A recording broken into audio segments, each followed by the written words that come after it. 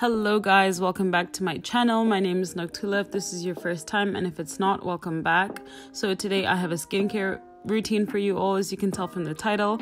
And I'm just gonna start off by putting my hair up, taking my earrings off. Um, I'm in my pajamas already, and I'm just getting ready to do my skincare and just hop into bed.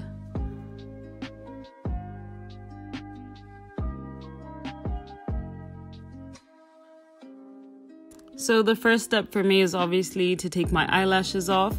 And once my eyelashes are off, I go in with this Bioderma makeup removing solution. And it is my all-time favorite. It used to be the Garnier Micellar Water, but now I've moved on to the Bioderma one.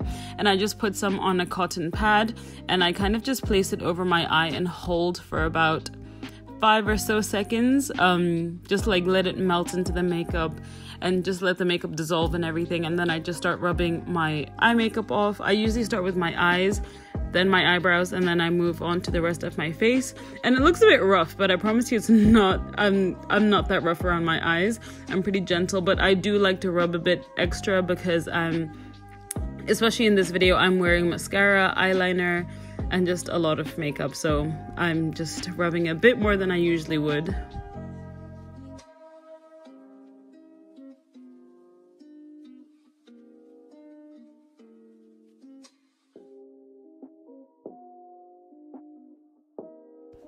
Once that is all done, I am now going to take my Olay Gentle Foaming Face Cleanser and I'm just going to wash my face off camera.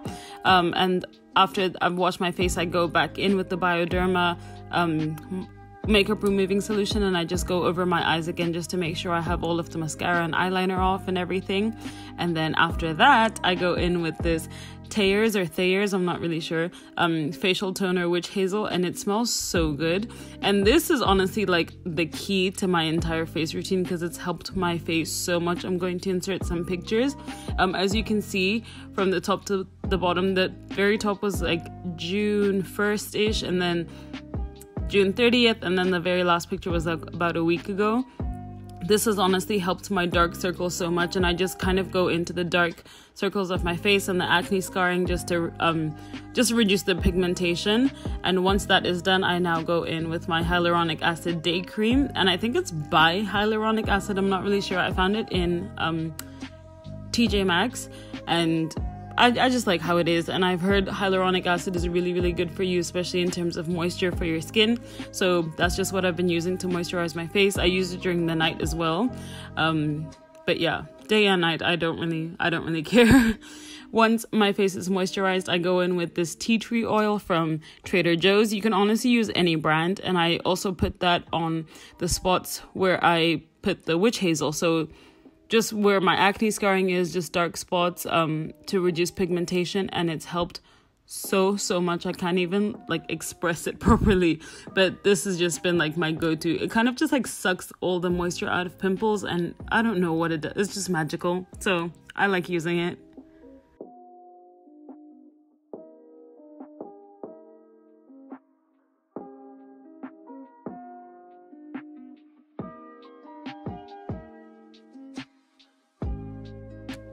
Now we are looking a bit more refreshed. Um, the last face step is going in with this Pearlessence Brighten Pineapple Enzyme Facial Toner, and I just spray that all over my face just to be a bit more refreshed and again to tone my face. And then the very last step is my lips. I go in with this Vaseline Lip Therapy um, lip balm and specifically the aloe vera one because I just think it heals my lips. It just moisturizes my lips. It's just the one. And that is basically it for this video. I hope you guys enjoyed my skincare routine. Please don't forget to like, comment, subscribe, share all of that good stuff, and I'll see you next time. Bye.